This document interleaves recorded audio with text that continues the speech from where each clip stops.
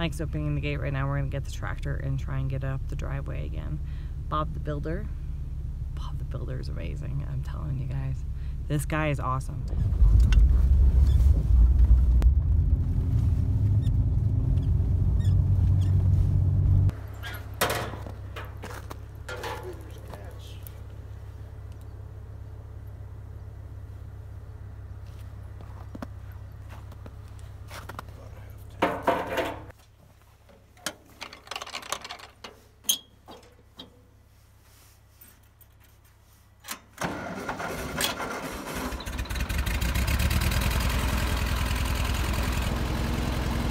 Probably have you take the Jeep.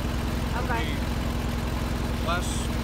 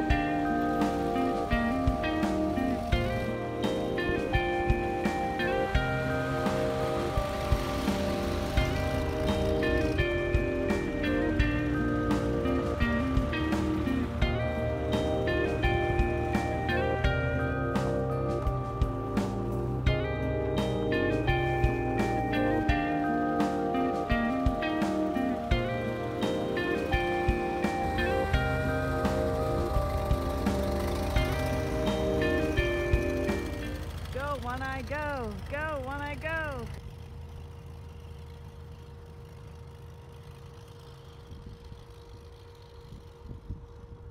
Yes. I think she made it, ladies and gentlemen. See his hat floating up the hill.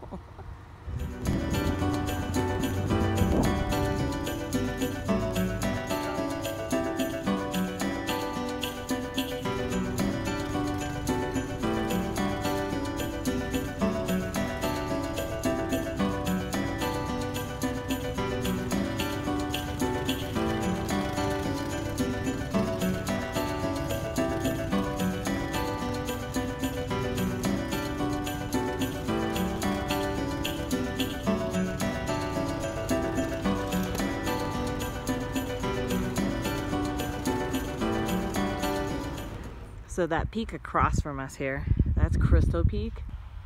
That is about, I believe it's two miles as a crow flies from us. So that gives you an idea of our elevation and what the terrain is like here. Right here where I'm standing is about 8,900 feet. Crystal Peak is private property. A lot of people come up to try and hike it only to see all these signs saying no trespassing. So because of all the ice and snow that we've had this year, we've talked with Bob the Builder today and it sounds like there's not going to be a whole lot of anything happening until all this thaws out. March and April are the snowiest months in Colorado typically.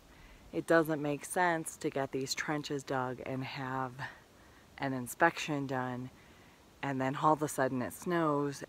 The problem is is we can't have any frost or snow in the trench. So looks like we're stuck with this probably at least another month or two until we can start digging and put the house together. I just want to have some secure feeling that this is all going to work out. I, it's making me really anxious and stressed out. So I just want to feel like this is happening I just want to feel like this is going to come together. And with the tractor being stupid and Mike's truck not starting today and my car doesn't really like coming up this hill either. I just, I feel less secure. I feel less secure about stuff with everything kind of going wrong at the moment. But I also know that things usually have to go really, really wrong before they go really right again. And I'm telling you, the past three years have been really wrong. It's been a rough go, so I, am ready for a win. I'm ready, ready for a big win. I made Mikey some cookies. Mike really loves snickerdoodles. And given that it's been kind of a rough couple of days, I figured Mike could use some snickerdoodles. And this is me we're talking about here, so you know I've got to test one.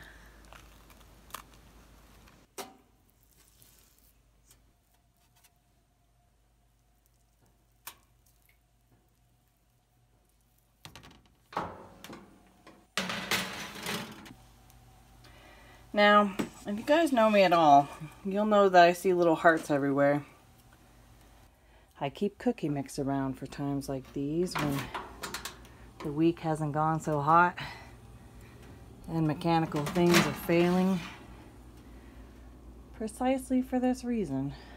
I figure in the very least, it might cheer Mike up a little bit. So if you're wanting charcoal soap, the good news is, is I'm making it today. It'll be available in about a month. I'm also going to make some sage and cedar soap and probably some cherry blossom soap as well. Hi guys, it's Ali. If you enjoyed the video you just watched, do us a favor, click on that thumbs up button. And while you're at it, why don't you go ahead and subscribe so you don't miss any of our upcoming videos. Thanks for watching. Have a great night.